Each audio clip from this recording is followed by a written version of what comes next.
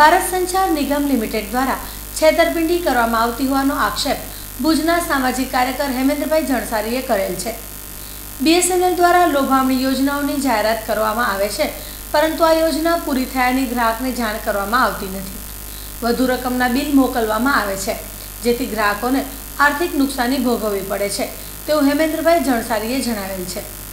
BSNL ઓફિસમાં વિકલાંગો માટે પણ વ્યવસ્થા કરવાની જરૂરત હોવાની માંગ હેમેન્દ્રભાઈએ કરેલ છે. આ અંગે હેમેન્દ્રભાઈ જણસારીએ ચંચળિયું સાથે વાત કરી હતી. મારું નામ જણસારી હેમેન્દ્ર છે. હું એક સામાજિક કાર્યકર્તા છું. હાલમાં ભુજની અંદર બીએસએનએલ જે સરકારી ભારત સરકારનું એક દૂરસંચારનું વિભાગ છે, એમની એક કમ્પ્લેન્ટ છે. ખાસ કરીને પ્રાઇવેટ કંપનીઓ તો છેતરપિંડી કરતી હોય છે લોભામણી જાહેરાતો આપીને. પરંતુ બીએસએનએલે પણ એવું હવે ચાલુ કર્યું છે કે અમુક અમુક ટૂંક સમયના પ્લાનો જાહેર કરી અને લાભાર્થીઓ પાસેથી એ યોજનાઓના ફોર્મ ભરાવી એ લોકોને એ ટાઈપના કનેક્શનો આપી અને એ ક્યારે પૂર્ણ થઈ જાય એ બાબતે એ લોકો ક્યારે પણ કોઈ લાભાર્થીને સામે મેસેજ નથી કરતા. અને એ લોકોની પાસે જ્યારે પૂછવા કરવા માટે જાય છે, ત્યારે એવું એ લોકો કહેતા હોય છે કે અમે એસએમએસ મોકલ્યો છે ઈમેલ કર્યો છે. આવું જ એક ઉદાહરણ મારા મારા સામે આવ્યું કે નવ્વાણું રૂપિયાનો જે એક પ્લાન હતો મંથલી લેન્ડલાઇનમાં તો એનામાં અસંખ્ય લોકોએ આ બાબતે ફોર્મ ભરી અને લેન્ડલાઇન કનેક્શન લીધું.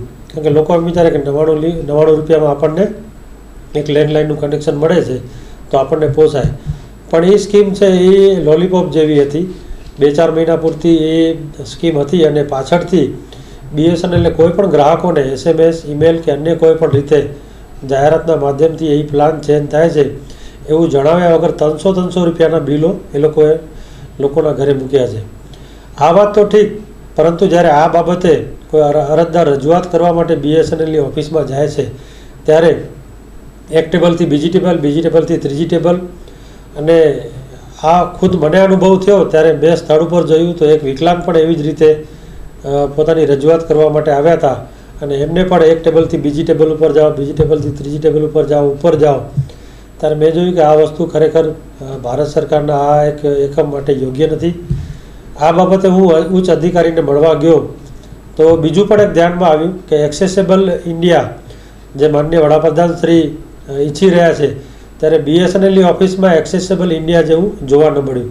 કારણ પણ, કારણ કે કોઈપણ જગ્યાએ રેમ્પની સુવિધા ન હતી, બિલ્ડિંગની અંદર લિફ્ટની સુવિધા ન હતી, તો ત્રીજા માળે અધિકારી બેસતા હોય તો વિકલાંગ ત્રીજા માળે અધિકારી પાસે કેવી રીતે રજૂઆત કરવા માટે જઈ શકે? આ મહા મુશ્કેલીએ જ્યારે હું અધિકારીને ત્રીજા માળે મળવા ગયો, તો ત્યાં મેં બીજો પણ આવો જ એક પ્રશ્ન જોયો કે ખુદ બીએસએનએલના વિકલાંગ કર્મચારી કે જે ત્યાં બીજા માળે જોબ કરતા હતા, હલનચલનની ખૂબ જ અસ્થિ વિષયક હતા અને હલનચલનમાં ખૂબ જ મુશ્કેલી ધરાવતા હતા.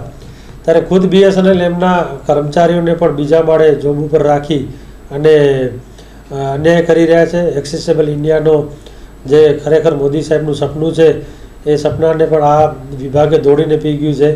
નીચેના વિભાગમાં પણ વિકલાંગો માટે રેમ્પ નથી. ઉપર જવા માટે લિફ્ટની વ્યવસ્થા નથી. તો વિકલાંગ ખરેખર આ ડિપાર્ટમેન્ટ સાથે કાંઈ પણ કામ હોય તો કેટલી મહા મુશ્કેલી અનુભવે. એટલે મારું એક સરકારને અનુરોધ છે કે તાત્કાલિક એક તો વિકલાંગો માટેની રેમ્પની સુવિધાઓ કરવામાં આવે.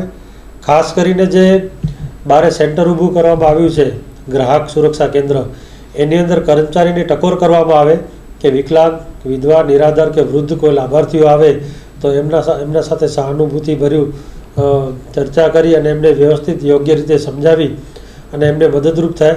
ત્રીજું બીએસએનએલ જે કાંઈ પણ યોજનાઓ બહાર પાડે છે, એ ફક્ત ને ફક્ત ગ્રાહકો આકર્ષવા માટે નહીં, પણ ગ્રાહકોને પૂરેપૂરી સમજ આપે અને ગ્રાહકોને પૂરું સમજાવે કે આ યોજનાઓ આટલા સમય મર્યાદા પૂરતી છે, જેથી કરી અને જેમ પ્રાઇવેટ કંપનીઓમાં માણસો છેતરાય છે, એવી રીતે બીએસએનએલમાં છેતરાય નહીં, એવો આજે મારો અનુરોધ છે.